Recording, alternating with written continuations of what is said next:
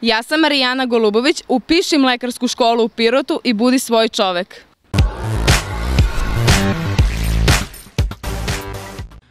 Državna uprava za poljoprivredno zemljište ponudila je ukupno 100,3 miliona dinara preko javnog konkursa, a sredstva će biti upotrebljena za radove na zaštiti, uređenju i korišćenju poljoprivrednog zemljišta, objavljeno je na sajtu uprave.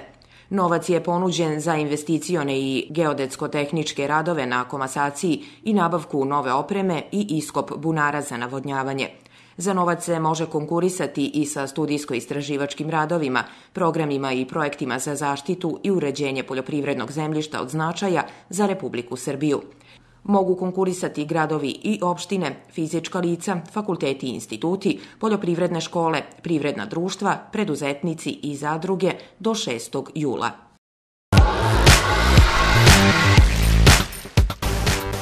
Ko predsednici nacionalnog tima za preporod cela Srbije Milan Krkobabić i akademik Dragan Škorić poručuju da ulaganje u proizvodnju pečuraka može da bude isplativ posao. U periodu od 2015. do 2019. Republika Srbija je prosečno godišnje izvozila pečurak u vrednosti od oko 5,2 miliona evra i to na tržišta Italije, Nemačke, Švajcarske, Austrije. Podaci da je izvoz pečuraka Srbije veći za čak 75 puta od uvoza deluje optimistički pečurki, ali i činjenica da najveći deo izvoza čine pečurke sakupljene iz prirode i da njihova količina varira iz godine u godinu, jasno nas upućuje da u Srbiji postoje neiskorišćeni resursi za proizvodnju pečuraka u kontrolisanim uslovima, rekao je Krkobabić.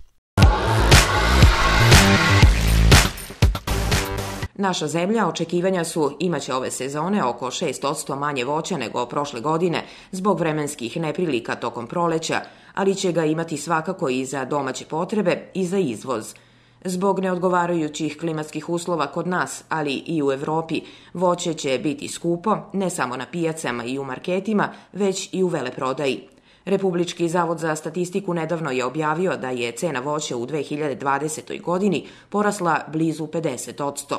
Stručnjak za voćarstvo iz Novog Sada, profesor Zoran Keserović, kaže da se očekuje rod od 1,2 do 1,3 miliona tona i da će od izvoza naše zemlja zaraditi između 120 i 130 miliona dolara. Voće će biti skupo zbog toga što će ga svuda biti manje, ali i zato što su se potrošači zbog pandemije COVID-19 okrenuli zdravoj ishrani, pa ga uz povrće češće kupuju, kaže profesor Keserović. Berba malina počeće sledeće nedelje, a pojedini otkupljivači su ponudili akontne cene od 200 dinara za kilogram, rekao je predsednik Asocijacije proizvođača malina i kupina Srbije Dobrivoj Radović.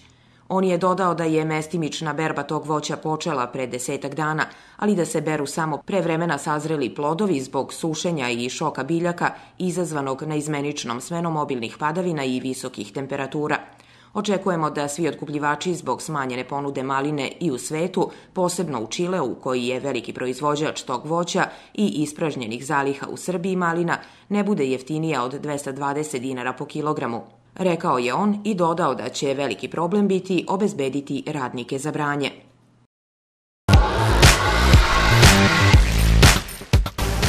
Društvo pčelara Grza iz Paraćina i turistička organizacija opštine Paraćin u petak 26. juna u centru grada u Paraćinu organizuju sedmi sajam pčelarstva, čiji je pokrovitelj opština Paraćin.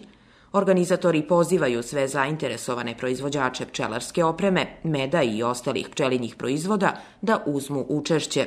Zainteresovani za učešće se mogu prijaviti na telefon 064 173 9595 Šumadijski sajam poljoprivrede i ove godine održat će se u septembru, potvrđeno je na Kragujevačkom Šumadija sajmu. Od 3. do 6. septembra tradicionalna manifestacija Šumadijski sajam poljoprivrede sa 17 godina dugom tradicijom i ove godine obeležit će četiri sajamska dana najvećeg poljoprivrednog događaja u ovom delu Srbije, najavljeno je na Kragujevačkom sajmu. Kako se dodaje u saopštenju, najveća jesenja smotra agrara, južno od Save i Dunava, prepoznatljiva je u Srbiji po broju izlagača i posetilaca, ali i brojnim stručnim izložbama koje su sastavni deo Šumadijskog sajma poljoprivrede. Šumadijski sajam poljoprivrede organizuje Šumadija sajam pod pokroviteljstvom grada Kragujevca. Posmatrano po odsecima standardne međunarodne trgovinske klasifikacije, prošle godine su po ostvarenoj vrednosti u uvozu u Srbiji najzastupljeniji bili odseci voće i povrće sa vrednošću uvoza od 437,3 miliona dolara, sa učešćem u ukupnom uvozu od 1,6% i duvani i proizvodi od duvana u vrednosti od 263,4 miliona dolara, sa učešćem u ukupnom uvozu od 1%, sa skromnim suficitom od 60,5 miliona dolara. Darko Božić, državni sekretar u Ministarstvu poljoprivrede, šumarstva i vodoprivrede, obišao je sa predsednikom Zadružnog saveza Srbije Nikolom Mihajlovićem sela u Pirotskom okrugu u okviru održavanja tribine o razvoju zadrugarstva. Pokušavamo da kroz poljoprivredne podsticaje oživimo srpska sela koja su u ovom delu zemlje bogom dana za stočarstvo, istakao je Božić. Ono što vlada Republike Srbije u zadnjih šest godina radila, a to je za očuvanje srpskog sela. Znači, program i oživljavanje srpskih zadruga, jer nema jake zadrugu bez jakog sela. Nama u cilju je u narednom periodu da kroz e, posticaj poljoprivrede pokušamo, naročito ovde u Pirotu, da oživimo neka srpska sela, da sačuvamo, da kažemo, to stanovništvo, jer ovde je Bogom dano dalo za razvoj stočarstva. Znači, imamo primere dobre, dobre prakse, jer na taj način možemo, da kažemo, poput ovog sela, poput Visočke Režane i drugih sela, gde imaju perspektivu za razvoj stočarstva, da im pomognemo, da ostvare, da kažem, subvencije, da kroz vid udruživanja u tom selu, znači gde minimum pet lica će formirati zadrugu, imati, da kažemo, tu ekonomsku egzistenciju. Država će punu pažnju posvetiti ravnomernom regionalnom razvoju, kaže Božić, i dodaje da će u narednom periodu biti programa i podsticaja države za povratak na selo. Pored toga da kažemo ono država u što će usmeriti, znači to su i neki viši nivoji prerade gde možemo doći da do tog e, sira da kažemo ovčijeg, znači Pirot je poznat po tome, zaštita geografskog porekla, razvoja, da kažemo, turizma, jer e, vladi Republike Srbije od izuzetnog značaja važno i ravnomerni regionalni razvoj, što ćemo potencirati u narednom periodu, jer e, kroz razvojem putne infrastrukture, znači i srpskom selu će biti bolje. Mladi treba da se vrate, da kažemo, na, na selo, jer u narednom periodu biće programa za povratak na selo, oživljavanje sela i tu ćemo videti, da kažemo, za razvoj, da kažemo, i samo zapošljavanje, znači na, ovaj način gde će biti posticaje, da kažemo, za razvoj, da kažemo, tog seoskog turizma i ono što se proizvede ovde treba usmeriti u tom pravcu.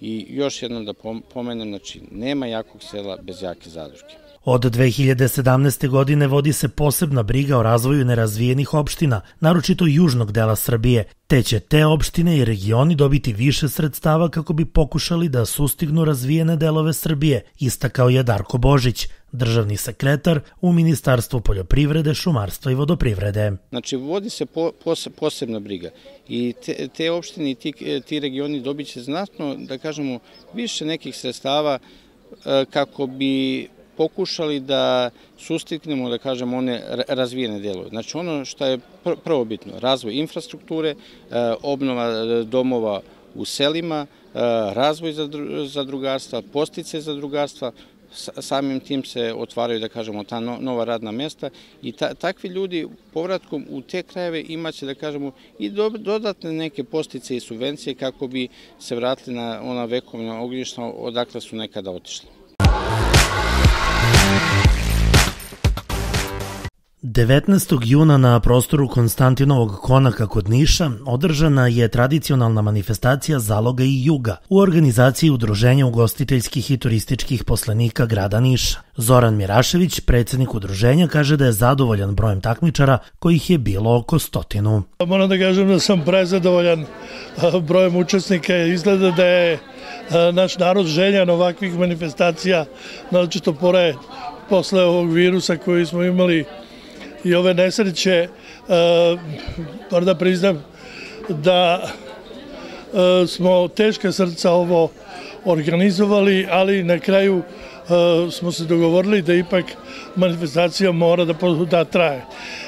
Mi imamo negde oko 100 takmičara, nemamo više prostora da bi mogli da primimo veći broj, a isto tako i to da kažem da je interesovanje stvarno bilo veliko. Ovde su sada takmičari, ovo je manifestacija međunarodnog karaktera, međutim ovde su sada takmičari samo iz Srbije. Priprema hrane na otvorenom poseban je deo srpske tradicije i kulture i danas predstavlja glavni adut juga Srbije, pa je pored pripreme jela tradicionalne kuhinje održano takmičenje i na otvorenom. Vidite, imamo pripremanje jela, kako mi to kažemo, na otvorenoj vatri, znači pripremanje gulaša, riblje čorbe, paprika, šapasulja, kupusa, znači sve ono šta jela od pečuraka, a vamo imamo u ovom drugom delu nacionalnu kuhinju. Ne znam ko će pobediti, vidjet ćemo, stručni žiri je to prisutan, neka pobedi najbolji. Na manifestaciji Zaloga i Juga okupili su se takmičari iz cele Srbije, a kako bi do kraja ostali profesionalni, organizatori su preduzeli sve preporučene mere prevencije, te nisu dozvolili stvaranje gužve bez obzira na veliki broj posetilaca. Evo vidite da imamo čak takmičare iz Subotice, iz Novog Sada, a imamo i naše kolegu iz Mirača, poznati Miračanac, koji je napravio stvarno jedan prelepi nacionalni sto. Koliko ste zadovoljni ovako posetom na početku same manifestacije? Pa, šta da vam kažem, ja sam prezadovoljan brojem posetioca, mi hoćemo da ispoštujemo ono što je vlada Srbije donela odluku tako da ne dozvoljavamo, imamo i naše lično bezbedljenje, sve mere smo, kažem, preduzeli, potrebne, jer mi, ipak mi smo profesionalci, a imamo mi i naše bezbedljenje, pa ne puštamo ovde veliki broj ljudi da dođe i da pristuje. Planovi za dalje udruženja? Dalje idemo sa nekim novim manifestacijama, ali sve zavisi od uh, situacije kako će se odvijati sa samim virusom.